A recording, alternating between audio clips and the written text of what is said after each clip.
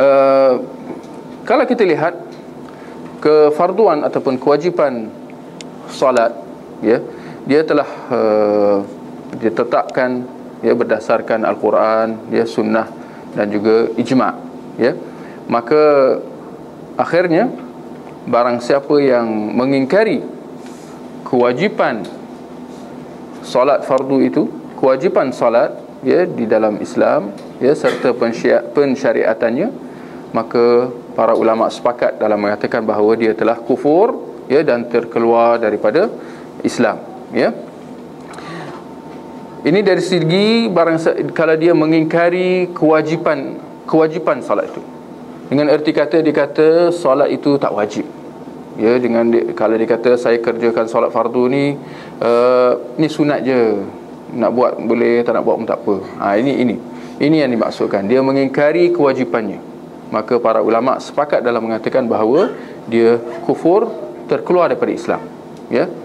Kenapa kita kata kufur terkeluar daripada Islam? Kerana ada juga dari kufur dengan maksud tak terkeluar daripada Islam. Kena faham juga.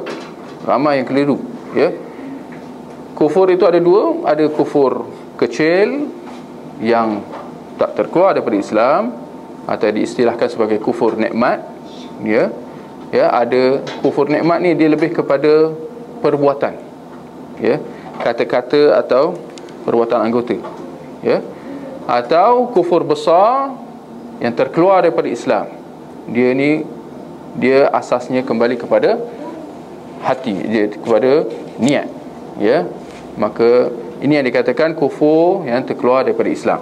Ya kalau dia sekiranya dia mengingkari kewajipan solat itu. Walaupun kalau dia mendirikan solat. Ha, ini kena faham dia mendirikan solat. Bahkan kita kata dia jadi imam sekalipun. Imam solat fardu di sebuah masjid. Tapi dia melihat bahawa solat fardu yang dikerjakan tak wajib. Dia buat tu sunat suka-suka. Ya? Dia telah terkufur terkeluar daripada Islam walaupun dia mendirikannya. Ya